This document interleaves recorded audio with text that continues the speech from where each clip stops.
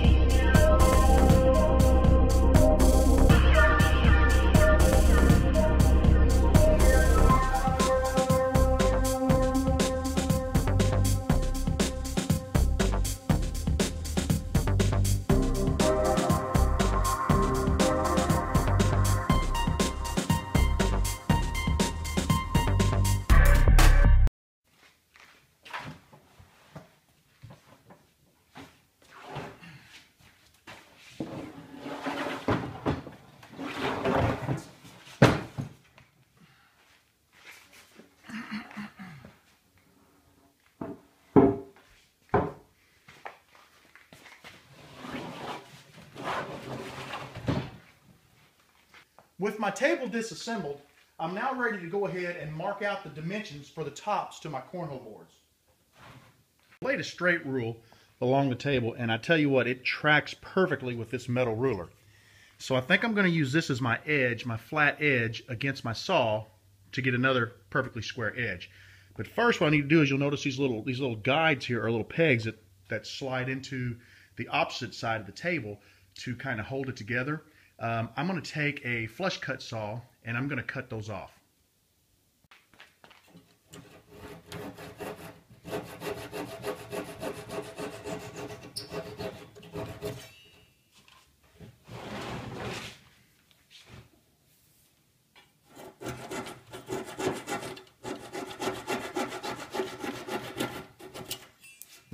A couple of quick passes with the sander to make sure that it's uh, perfectly smooth and I've got a nice flat edge to uh, help me square up my tops to my cornhole boards. Looking online, I came up with this chart that shows three different sizes of cornhole boards.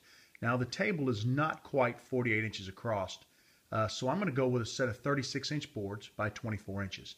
So tabletop is made of poplar and it's laminated with about an eighth inch thick what looks like oak laminate.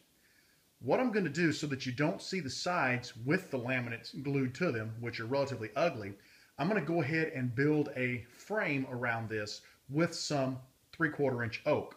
So when I take 24 inches minus 3 quarter inches, I come out with 22 and a half inches.